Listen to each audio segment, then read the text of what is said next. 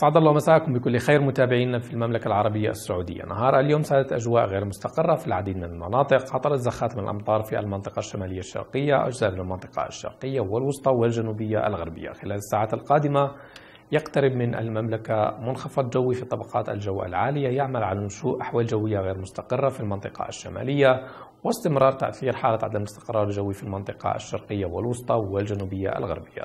توقعات الجوية للعاصمة الرياض خلال هذه الليلة تسود أجواء غير مستقرة فرصة زخات من الأمطار 13 درجة مئوية كحرارة دنيا الملموسة 13 الرطوبة حوالي 65% والرياح تكون جنوبية غربية نشطة أسرع. تفاصيل الحالة الجوية المتوقعة لباقي مناطق المملكة. اليوم غد نبدأ بالمنطقة الشمالية. أجواء غير مستقرة فرصة لزخات من الأمطار. سكاكا 11 إلى 5 عرعر 10 إلى 6 وتبوك 15 إلى 5 درجات مئوية. المنطقة الغربية المدينة المنورة رياح نشطة واتربة مثارة 23 إلى 13 جدة 25 إلى 20 مكة المكرمة 27 إلى 16 والطائف 22 إلى 9 درجات مئوية. بالنسبة للمنطقة الجنوبية الغربية نبدأها بالباحة حيث تكون الأجواء غير مستقرة. وفرصة لزخات العديد من الأمطار 14 إلى 12 أبا 20 إلى 13 وجازان 29 إلى 26 درجة مئوية مع فرصة لزخات العديد من الأمطار.